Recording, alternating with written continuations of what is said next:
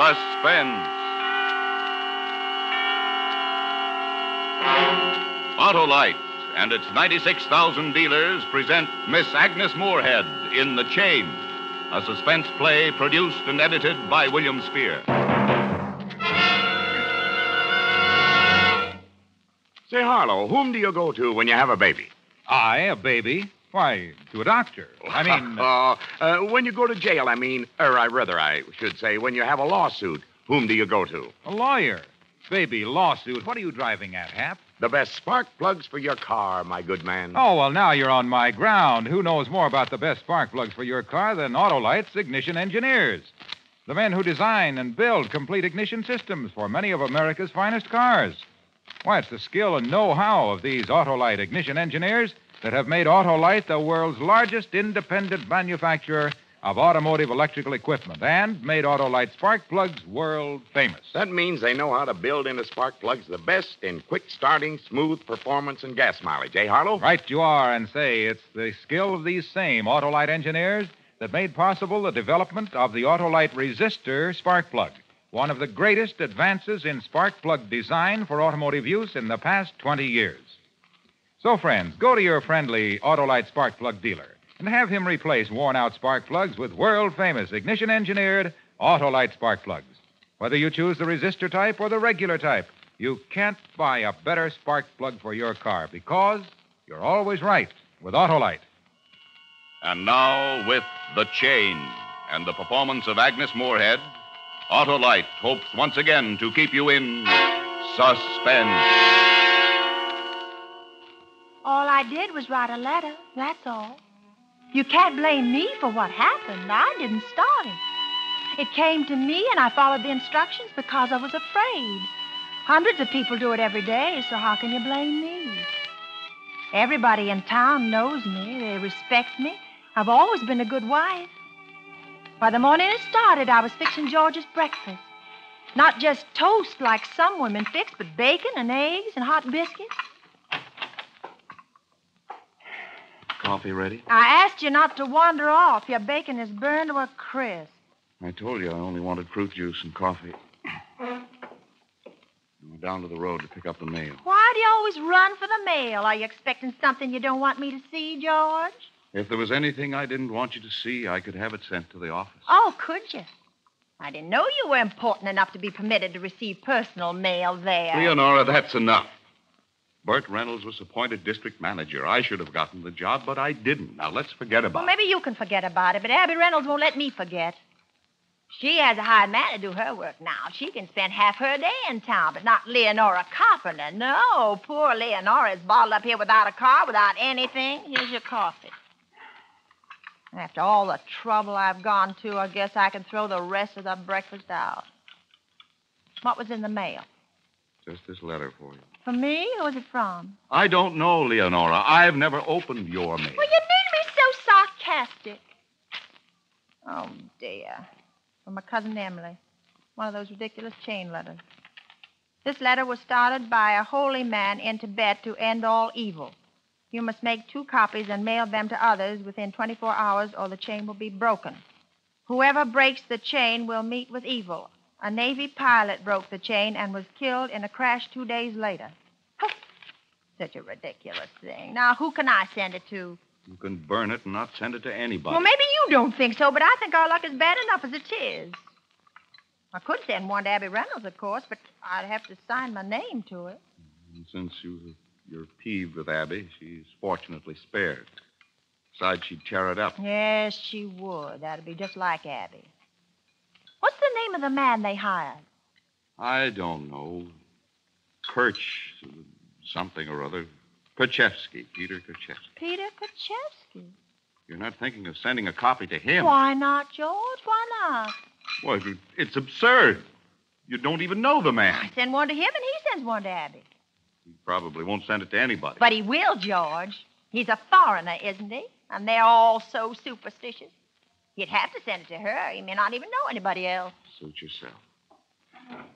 Need anything from town? No. Time for him to be getting back to the office.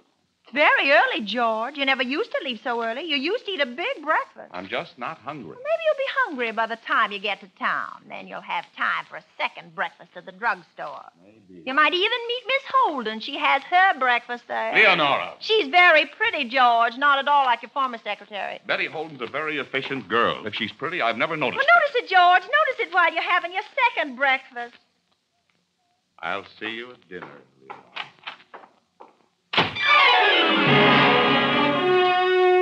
George didn't fool me a bit. He never did. Some wives can't see the signs, but I could. I cleaned up the house spotless. That's where I kept it. Then I sat down with the letter. I made a copy and addressed it to Mr. Peter Kaczewski, care of Mrs. Abby Reynolds. Then I made the second copy. Whoever breaks the chain will meet with evil. Hadn't spoken to George about this copy.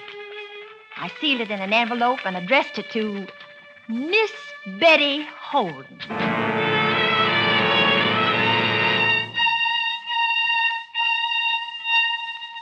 I mailed the letters, then I waited patiently. I watched George's face the next night when he came home. I had all his favorite things for dinner. I even had my hair put up the way he liked it best. Not that he was ever pleased with the things I did for him. I wasn't the one he had on his mind. You're not very good company tonight, George. I find very little to say. I passed your office today. You seemed quite animated in there. But perhaps you find Miss Holden's conversation more stimulating than mine. We were discussing something that was very embarrassing to me, Leonora. Oh? Why did you send her that letter? Well, it said send two copies, and that's what I did. Well, why Miss Holden? Why not? Because it was a stupid and childish thing. Is that what she said? She's too much of a lady. That's what she thought, and so did I. Oh, you and Miss Holden seem to think very much alike. It's a pity you're not married to her. Yes, Leonora. It is a pity. So it's true, then. You agree that I'm stupid and childish. What other agreements do you have, George? Why do you twist things so? I said. I know what you said. You think I'm deaf, George? I'm not. I'm not blind either. She's my secretary, that's all. If that's all, then why don't you fire her? For what cause? Because I don't want her there. That's cause enough, isn't it? I'm your wife. Isn't what I want important? Not when it can cost somebody a job without reason. Oh, you're so noble, aren't you, George? But that isn't like you. I know because I live with you. You're a liar, George, and I could get her fired without your help. I'll go to Bert Reynolds and tell him.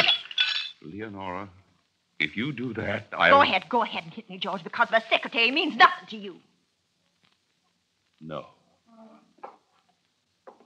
That wouldn't do any good with you, Leonora. You're not worth it. You stay here and talk to me. Where do you think you're going? I'm going out to the guest room over the garage. Where I go from there, I'll decide later. You mean you're going to stay out there? That's exactly what I mean. You want to make a fool of me. You want people around town whispering that you left me. You want them to laugh at me. They'll never know unless you tell them, Leonora. You'll make sure that Betty Holden knows it, though, won't you? George! George, come back here. Do you hear me? George!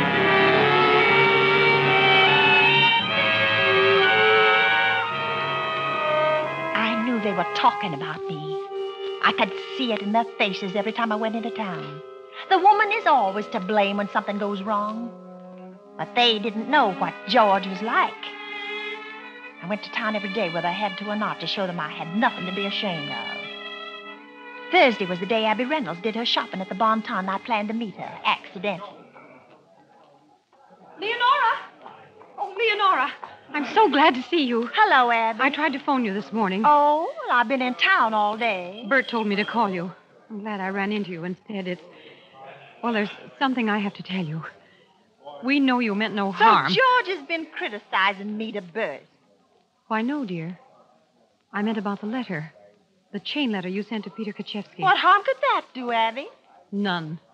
That's what Bert tried to tell him, but he's a, a very quiet, strange man. And, well, you see, Leonora, his wife died yesterday. Oh, no. No, Abby. He got the letter a few days ago. No. He can't read English, so he usually brings his mail to Bert. But his wife got sick that morning, and he took her to the hospital. He didn't bring the letter to Bert until this morning. And without thinking, of course. He read it to him? Bert tried to reason with him, but he didn't seem to hear. He just kept staring. Then he turned and walked out of the house. He blames me. He thinks it's my fault. Why did you ever send it to him, Leonora? Why did you pick Well, I him? meant no harm, Abby. I swear it. I swear it on my heart. I just mean. You better tell George about it. in case there's any trouble. Yes. Yes, I, I'll tell George. You see, if I'd sent the letter to Abby, it never would have happened. That's what I would have done if she wasn't always trying to make herself better than I was. I wouldn't have been in this if it wasn't for her. I left the Bon Ton and went to the square. The Country Hill bus wasn't due for half an hour. I couldn't stand there, so I walked out of town and I crossed the wooden bridge over the river. The side road was pitted with ruts left by the rain, and I, I stumbled and the heel of my shoe broke off. I sat down on a patch of grass and tried to fix it, and then, and I heard a branch snap in the trees behind me. Hello, Mrs. Carpenter. It was a voice I'd never heard before. But when I turned, I knew the face. It was Peter Krachevsky. He was all dirty and unshaven, and he had a half empty bottle in his hand. You afraid, huh, Mrs. Carpenter? You stay away from me! Stay away, do you hear? You. He started for me. I threw the shoe. It caught him in the face, and a nail tore a gash in his forehead. I turned and started to run up the hill. I got you. I could hear him behind me. He was getting closer and closer, and the house was still a quarter of a mile away.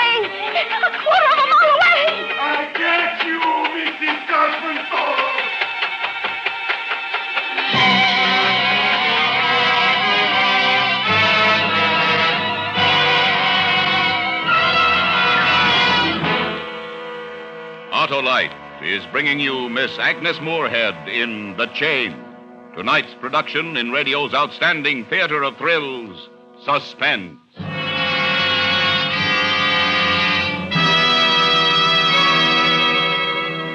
Say, Harlow, what ignites the ignition system? I, uh, I'll ask the Autolite ignition engineers. And what sparks a spark plug? Uh, that's another for Autolite ignition engineers. If anyone knows spark plugs, it's these same Autolite engineers who design coils, distributors, and all the other vital parts that make up the complete ignition systems used as original equipment on many makes of America's finest cars. They really know, eh, Harlow? Yes, sir. And look at the Autolite resistor spark plug they developed. It's one of the greatest advances in spark plug design for automotive use in the past 20 years. Can they talk about spark plugs like you, Harlow? sure they can.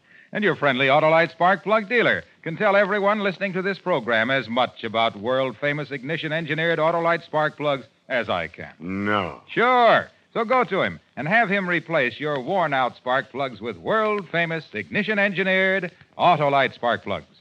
And whether you choose the resistor type or the regular type, for smooth performance and the best in gas mileage, you can't buy a better spark plug for your car because you're always right with Autolite. And now, Autolite brings back to our Hollywood soundstage our star, Agnes Moorehead, in The Chain. A tale well calculated to keep you in suspense. My lungs were ready to burst. I wanted to scream, but no sound had come. And there was nobody to hear me. Nobody but Peter Kaczewski. He was stumbling along after me. I heard the ball drop and break. I could see the house now in the clearing through the trees, and I started to cry. I couldn't run any faster. I just couldn't. He was almost up to me. He reached out, and I, I felt his hand tearing at the back of my coat, and then he fell. He fell. I heard him go down, but I didn't turn to look. I crossed the clearing, up the steps of the house. I tore at the clasp on my handbag to get the key. Well, it was stuck. Kaczewski staggered into the clearing. I remembered the spare key under the doormat, got it, and opened the door. He had reached the porch steps. I slammed the door and locked it in his face. Come out, Mrs. Carpenter. Go away, do you hear me? Leave me alone! Get Leave me away from me. Nobody runs to help you. You don't get away. I go wait for you. I leaned against the door, trying to get my breath. I could feel Kaczewski on the other side of it like a big crazy ape. What did he want to hurt me for? I took a chair and braced it under the doorknob. Then I heard him move. He padded down the porch steps, but he wasn't going away. He was moving around to the back door. I raced through the house. The door was locked. So were the storm windows on the lower floor. I ran upstairs to the bedroom. George's service revolver was in the bureau. I got it and opened the window. Calm down, Mrs. Get off this property! No, calm down. Look, I've got a gun and I know how to use it, you understand? Will you go? You killed my wife, Mrs. Carpenter. I didn't. I didn't. I never saw. I never you knew her. You sent me the letter. Then she died. You go away. I warn you. I shoot. Go I shoot. Shoot. Shoot. I didn't hit him. He started to back away across the clearing. I fired again and again. He kept backing away, looking at me with that mean, horrible face. I tried holding the gun with both hands and squeezing the trigger as taught me, but I couldn't hit him. He backed into the trees at the edge of the property. I'm going to pay for what you do, Mrs. Carpenter. I'm going to come back. I'll see you again. You're going to pay. I held the gun in my lap and waited till I could see him going down the road towards town. Then I unlocked the bedroom door and slipped down the stairs to the telephone. Number, please. Town 3417. A minute. Castle Insurance Company, Reynolds speaking. Bert, this is Leonora. Oh, yes, Leonora? Is George there? I must speak to him. He's out for the afternoon making some calls. Is is Miss Holden there? No, I think George gave her the afternoon off. Oh, I see. Is anything wrong, Leonora? No. Uh, uh, no, Bert. Uh, did you tell George about Kochetsky and the letter? Yes, Leonora, I told him. And he told me why you sent it. Is there anything else I can do for you? Well, if George comes I'll in. tell him to call you. Goodbye, Leonora. Uh, Bert, I'm at the.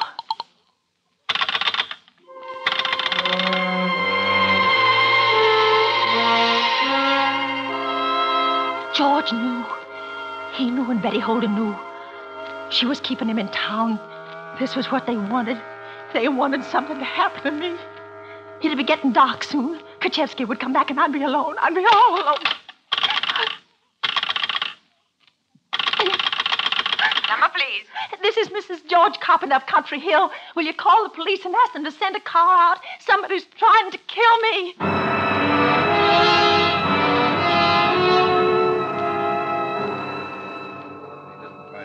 Door down or get in through any of the windows? No, but that. Well, Mrs. Carpenter, he wasn't carrying a weapon and he never actually touched you. I can't arrest him for attempted murder. There isn't even enough evidence for a simple assault. I want that man arrested. Do you hear me? Well, what you want has nothing to do with the law, Mrs. Carpenter. You're supposed to protect people. That's what we pay taxes for. Kochevsky pays taxes too, Mrs. Carpenter. You fired a gun at him. You're smart, you'll drop this. Haven't I the right to protect myself in my own house? In the house, yes, but you were behind locked doors firing at a man out in the open. Oh, If you'd killed him, you'd have been charged with murder.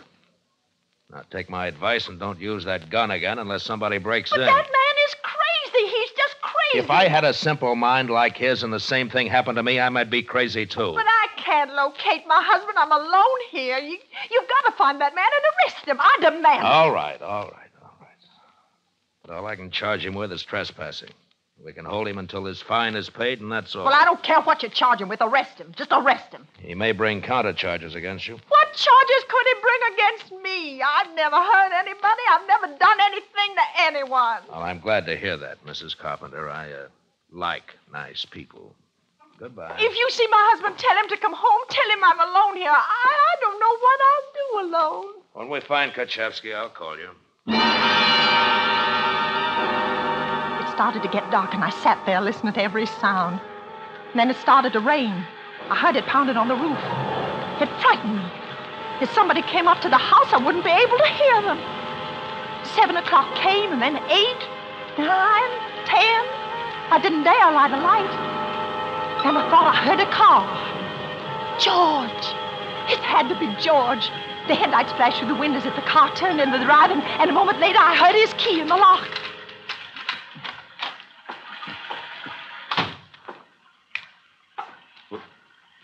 Leonora, What's the matter, George?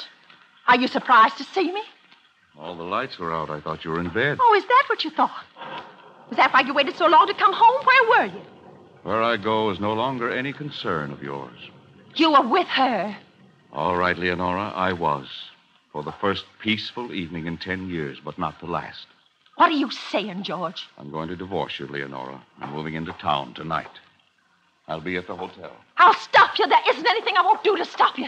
I know I can depend on you for that. A wife doesn't mean anything to you, George. You don't know what I've been through. You don't know what happened today. I know you tried to kill a man with a gun. How do you know that? Everybody knows it. The police are looking for Kochevsky. You have no feeling about what you've done to that poor, confused devil, have you? I haven't done anything to him, the superstitious idiot. All I did was send a silly letter. That didn't kill his wife. I'm sorry she's dead. I'm sorry. I'm sorry. No, I'm no, sorry. you're not. You're only sorry because you're afraid for yourself. How can you say that to me? Because I know you, Leonora. After ten years, I really know you. You didn't send those letters the way other people send them. I. You sent them with a curse out of the evil of your heart. You can't kill people with a curse. Which is fortunate for me. I'm not talking about the act, Leonora. I'm talking about the intent. I want to get my clothes. You can't. You can't. I won't let you. All right, I can get others. Goodbye, Leonora. I forbid you to leave this house. Get out of my way. No, George, no, I'm your wife. Remember how things used to be with us? They can be that way again, George. Let go of you me. know I can make you happy. Kiss me. Just kiss me once. out of my way. No, George.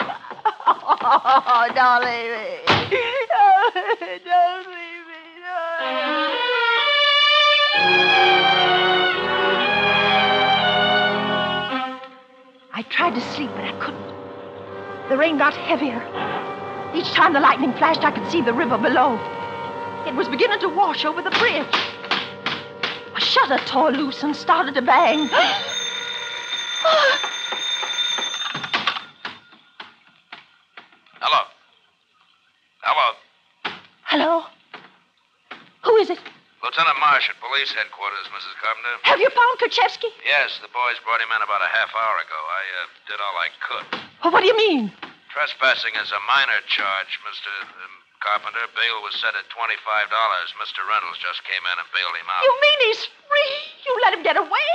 You've got to send somebody up here. You can't leave me alone if he's loose. I'm sorry, Mrs. Carpenter, but there's a storm emergency besides the bridge is washed out, and I'm tying up the line talking to you. Good night.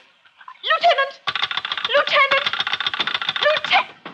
Operator. Operator, uh, get me, uh, uh, Mr. George Carpenter at the uh, at the Clearview Hotel. I'm Sorry, but the lines are open for emergency service. But I must speak to him. I must. I'm sorry, but the storm has washed out most of the lines. We only have three circuits open for emergency. But this is an emergency. I tell you, it's a matter of life and death. Just a moment.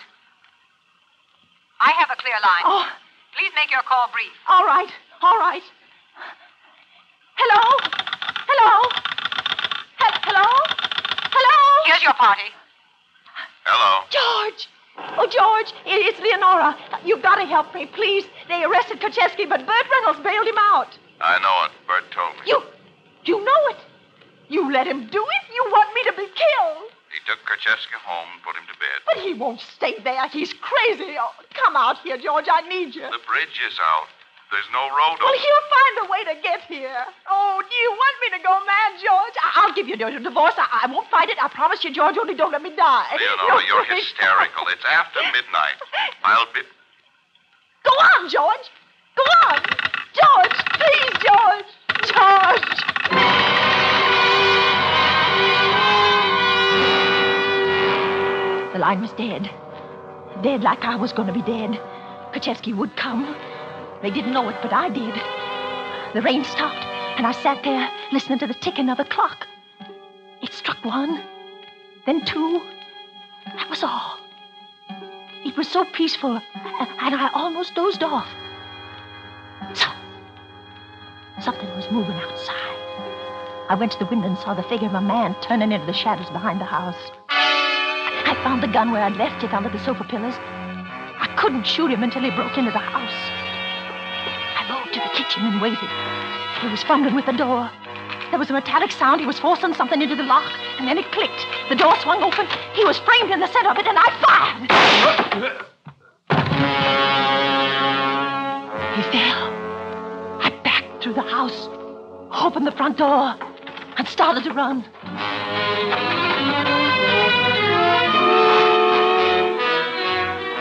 The road was a sea of mud. I knew he was dead, but I could feel him behind me, chasing me. I got to the river. It was starting to flood, but there was a boat coming across. Oh, I just cried with relief. When it landed, I, I ran to it. A man jumped out. Hello, Mrs. Carpenter. Oh! No! No, you're dead! You can't hurt me! You're dead! My wife, she's dead, Mrs. Carpenter. Look at me, lady. Look at my face. I'll give you money. I'll give you money. I won't say anything about this. You can get away. Why you do can this thing to me, Mrs. Carpenter? Oh. Why? What I ever do to you? My husband. My husband was the one. He told me to do it. I didn't want to. He made You me. You lie, lady. Your husband is good man. You're choking me. Don't you like to die, Mrs. Carpenter? You like to write letters. You like other people should You mustn't kill me. die. You mustn't. It's wrong. You'll be punished for it. You know that, don't you? Who going to punish me, lady? You? I didn't mean to shoot you up there tonight. I, I, I thought you were hurt. I was coming down to get a doctor for you. I, I, you, you just came across the river. You, you, you, you couldn't have gotten down here before me. George! It was George. I killed George.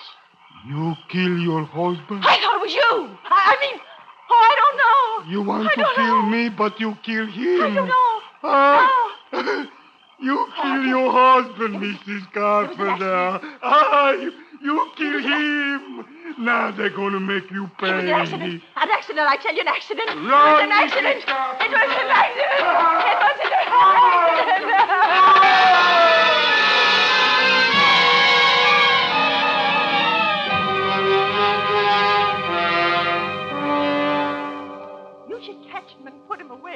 He's dangerous, I tell you. I came back here to the house and I found George. I left him just as it was so you could see it was an accident, Lieutenant. I, I, I called you as soon as I got the phone light working. Yes, I see, Mrs. Carpenter. Uh, did you get all that on the wire recorder, Chuck? Yeah. Good. Shut it off. Well, you better get your coat, Mrs. Carpenter. Uh, you, you mean I'm being arrested? On suspicion of murder, Mrs. Carpenter. Oh, but you're making a mistake. All, I did was write a letter. And kill your husband. But that was an accident. Why should I kill George? I had no reason. But you did have a motive for killing him. A very strong motive. He left you. He was divorcing you. He was going to marry another woman.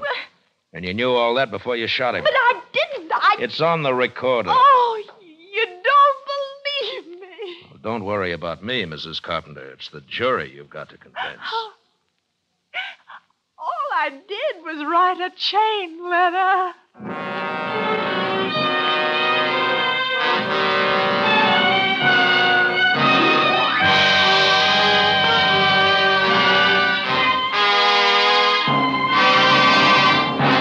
Suspense. Presented by Autolite. Tonight's star, Agnes Moorehead. Doctor, lawyer, merchant, chief. Hap, you're ta stating my belief that every car owner can be happy if his car is equipped with a set of the world famous ignition engineered Autolite spark plugs. So be sure to have your dealer give your spark plugs a spring checkup. Autolite makes over 400 products for cars, trucks, planes, and boats in 28 plants coast to coast. These include complete electrical systems used as original equipment on many makes of America's finest cars. Spark plugs, batteries, generators, coils, distributors, electric windshield wipers, starting motors, bullseye sealed beam headlights. All engineered to fit together perfectly, work together perfectly, because they're a perfect team. So, friends, don't accept electrical parts supposed to be as good. Ask for and insist on Autolite original factory parts at your neighborhood service station, car dealer, garage, or repair shop. Remember, you're always right with Autolite.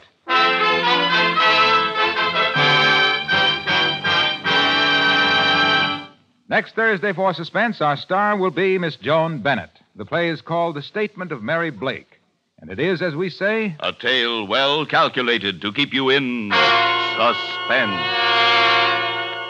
Tonight's suspense play was produced and edited by William Spier and directed by Norman Macdonnell.